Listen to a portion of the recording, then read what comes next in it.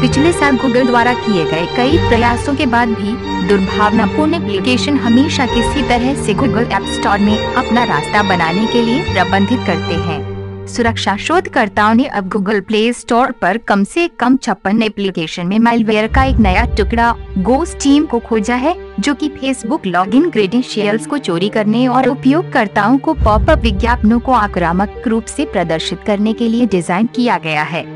दो साइबर सुरक्षा कंपनियों, ट्रेन, माइक्रो और आवास द्वारा स्वतंत्र रूप से खोजा गया। दुर्भावनापूर्ण एप्लीकेशन विभिन्न उपयोगिता, जैसे कि टॉर्चलाइट, क्यूआर कोड, स्कैनर और कंपास के रूप में छिपाने, प्रदर्शन बढ़ाने, जैसे फ़ाइल स्थानांतरण और क्लीनर मनोरंजन, जीवन शैली और वीडियो डाउनलोड ऐप्स अधिकांश मेलवेयर की तरह, इन में स्वयं किसी दुर्भावनापूर्ण कोड नहीं होते हैं। यही वजह है कि वे गूगल के आधिकारिक प्ले स्टोर में कामयाब रहे। एक बार इंस्टॉल होने पर ये पहली बार पुष्टि करता है कि डिवाइस एक एमुलेटर या वर्चुअल वातावरण नहीं है और उसके बाद मेलवेयर पेलोड डाउनलोड करता है, जो डिवाइस पर दृढ़ता प्राप्त करने के लिए उपकरण व्यवस्थापक अनुमतियों को स्वीकार करने के लिए पीड़ित को प्रेरित करता है। डाउनलोड डिवाइस के बारे में जानकारी एकत्र करता है, जैसे कि द्वितीय डिवाइस आईडी स्थान, भाषा और प्रदर्शन पैरामीटर आवाज़ ने कहा।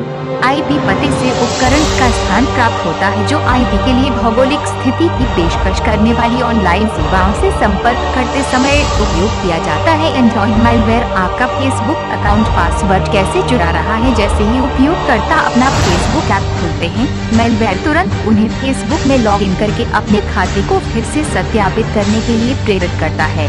किसी भी सिस्टम या अनुप्रयोग कमजोरियों का शोषण करने की बजाय काम पूरा करने के लिए मेलवेयर एक क्लासिक फिशिंग योजना का उपयोग करता है।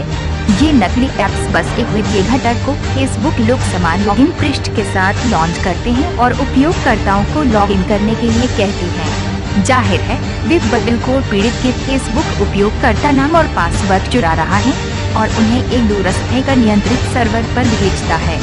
यह एक ब्राउज़र में वेब पेज को खोलने की बजाय अपनी क्षुधा में embedded web browser web web Chrome client का उपयोग करने वाले डेवलपर्स की वजह से सबसे अधिक संभावना है आवाज़ ने कहा। ट्रेंड माइक्रो शोधकर्ताओं ने चेतावनी दी कि ये चोरी हुए फेसबुक क्रेडेंशियल्स को बाद में नकली समाचार फैलाने या क्रिप्टो ग्रीन्स माइनिंग मेलवेयर उत्पन्न करने के लिए ज़्यादा अधिक हानिकारक मेलवेयर या जोम्बी सोशल मीडिया सेना को इकट्ठा करने के लिए पुनर्मुद्रण किया जा सकता है। चोरी वाले फेसबुक खाते भी अन्य वित्तीय और व्यक्तिगत रूप से पहचाने जाने योग्य जानकारी का धन का पर्दाफाश कर सकते हैं, जिसे भूमिगत बाजारों में तब बेचा जा सकता है। सुरक्षा फर्मों का मानना है कि कोड में वेतनामी भाषा का काफ़ी उपयोग होने के कारण एक डेवलपर द्वारा गोस टीम को विकसित और प्ले स्टोर पर अपलोड किया शोधकर्ताओं के मुताबिक गोस टीम मेलवेयर से प्रभावित अधिकांश उपयोगकर्ताओं का वर्णन भारत, इंडोनेशिया, ब्राज़ील, वियतनाम और फिलीपींस में रहता है।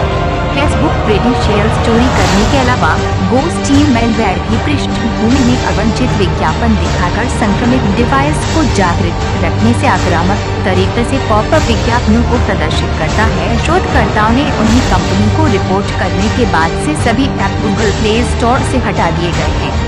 हालाँकि, ऐसे उपयोगकर्ताओं, जिन्होंने पहले से ही एक ऐसे ऐप को अपने डिवाइस पर इंस्टॉल किया है, उन्हें यह सुनिश्चित करना चाहिए कि उनके पास गूगल प्ले प्रोटेक्ट सेक्शन है। सुरक्षा को सुरक्षित रखें सुविधा को दूर करने के लिए मशीन सीखने और एक उपयोग विश्लेषण का उपयोग करता है, यानी अनइंस्टॉल करें।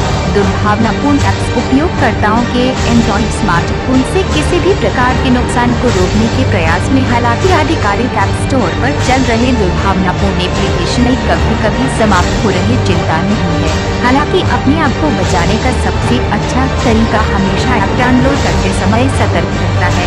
और एक डाउनलोड करने से पहले हमेशा अनुमतियों और समीक्षाओं को सत्यापित करता है।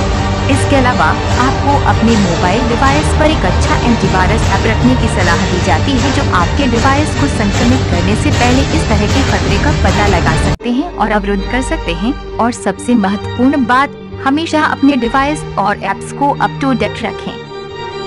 Thank you.